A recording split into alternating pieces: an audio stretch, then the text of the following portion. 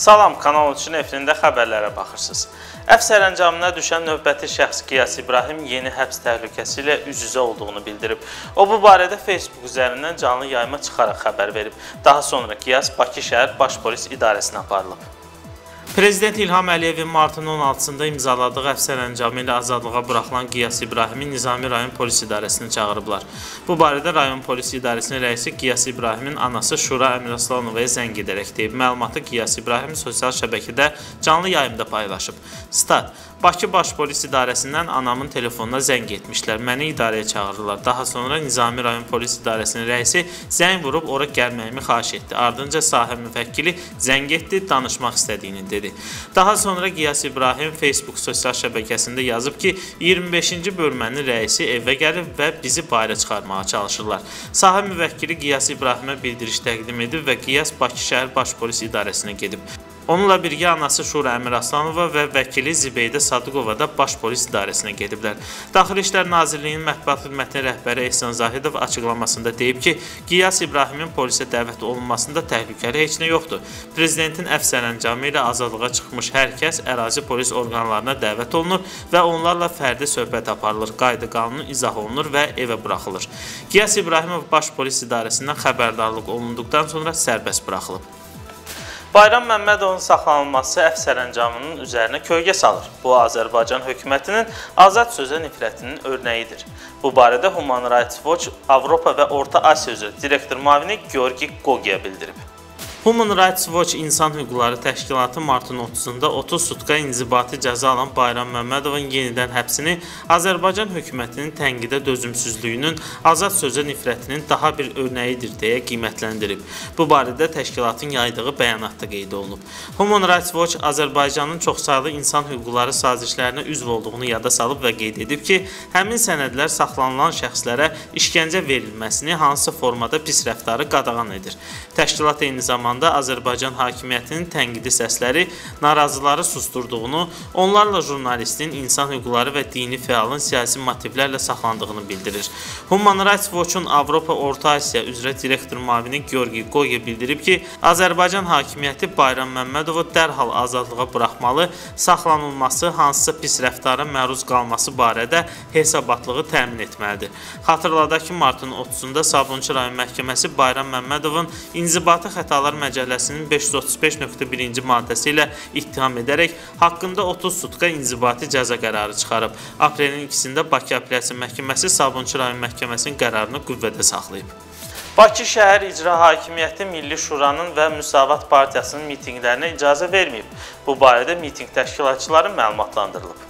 Bakı şəhər icra hakimiyyəti Milli Şuranın mitinqlə bağlı müraciətini cavablandırıb. Cavabda deyilir ki, Bakı şəhər icra hakimiyyətində müraciətə baxılıb və Milli Şuranın aprelin 6-sı saat 15:00-dan 17:00-dək idman sağlamlıq kompleksinin stadionunda mitinq keçirilməsinə razılıq verilməyib. Bu barədə mitinq təşkilatçıları məlumatlandırılıb. Bakı şəhər icra hakimiyyəti Müsavat partiyasında mitinqlə bağlı müraciətinə cavab verib. Cavabda deyilir ki, Bakı şəhəri icra hakimiyyətində müraciətə baxılıb və Müsavat partiyasının aprelin 7-sində saat 15:00-da İdman Sağlamlıq kompleksinin stadionunda mitinq keçirməsinə razılıq verilib. Bu barədə də mitinq təşkilatçıları məlumatlandırılıb. Azərbaycan Avropa Şurası ölkələri arasında adam başına düşən məhbus sayına görə ilk üçlükdədir. Bu barədə Avropa Şurasının aprelin 2-sində yaydığı məhkumların sayı ilə bağlı illik statistik hesabatda qeyd olunur. Azərbaycan Avropa Şurası ölkələri arasında adam başına düşən məhbus sayına görə ilk üçlükdədir.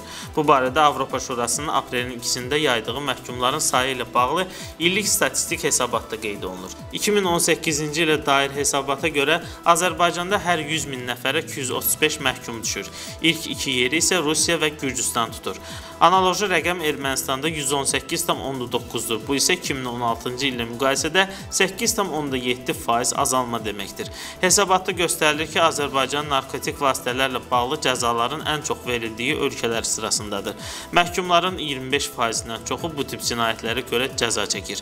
2016-2018-ci illəri əhatə edən araşdırma 44 Avropa Şurası ölkəsinin verdiyi məlumatlara əsasən hazırlanıb. Aprelin 3-də Ali Məhkəmədə döyülərək öldürülən jurnalist Rasim Əliyevin ölümündə suçlanan 5 nəfərdən biri olan Kənan Mədətovun kassasiya şikayətinə baxılıb. 2015-ci ilin avqustunda döyülərək öldürülən jurnalist Rasim Əliyevin ölümü ilə bağlı məhkəmə araşdırmaları hələ də davam edir. Aprelin 3-də Ali Məhkəmədə jurnalistin ölümündə suçlanan 5 nəfərdən biri olan Kənan Mədədovun kassasiya şikayətinə baxılıb. Rasim Əliyevin döyülüb öldürülməsində iştirakda təqsirli bilinib 9 il həbs cəzası alan Kənan Mədədovun vəkili Rəsul Yusufbəyli müvəkkilinin günahsız olduğunu deyir. O məhkəmədə çıxışında bildirib ki, hadisə vaxtı müşahidə kameralarının qeydə aldığı görüntülər də onun təqsirsizliyini sübut edir.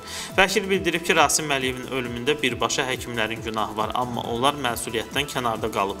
Məhkəmədə Rasim Əliyevin anası Teyfurə Əliyeva da iştirak edib. Zərər çəkmişin hüquqi varisi qismində çıxış edən Teyfurə Əliyeva vəkilin çıxışı ilə razılaşmadığını, oğlunun ölümündə Kənan Mədətovun da rolu olduğunu söyləyib.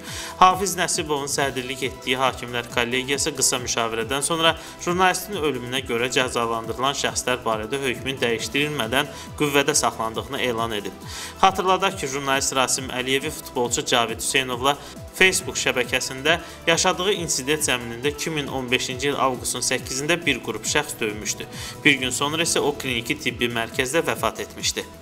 Aprelin 2-sində Bakı Ağır Cinayətlər Məhkəməsində Müsavat Partiyasının fəalı Azad Həsənovun işi üzrə iclas davam edib. Prosesdə şahid ifadəsi dinlənilib. Aprelin 2-sində Bakı Ağır Cinayətlər Məhkəməsində Müsavat Partiyasının fəalı Azad Həsənovun işi üzrə iclas davam edib. Prosesdə şahid ifadəsi dinlənilib. Vəkil Osman Kazımov deyib ki, şahidin məhkəmədə söylədikləri ilə istintaqa verdiyi ifadə arasında bir sıra uyğunsuzluqlar olub. Osman Kazımovun bildirməsinə görə özünü Ramana qəsəbəsində judo məşqçisi kimi təqdim edən hal şahidi Elvin Tağıyev məhkəmədə Azad Həsənovdan götürdüyünü iddia etdiyi narkotikin qablaşdırmasını və başqa bir şahidin xarici görünüşünü fərqli təsvir edib. Osman Kazımov deyir ki, o daha əvvəl şahid qismində ifadə vermiş iki polis əməkdaşının yenidən dindirilməsi barədə vəsadət qaldırıb. Vəkilin deməsinə görə hal şahidi onun iradlarına cavab verə bilməyib və məhkəmə vəsadəti təmin edib. Növbəti iclas aprelin 9-na təyin olunub. Bugünə çatdıracaqlarımız bu qədər. Sabah yenidən görüşmək ümidi ilə sağ olun, salamat qalın.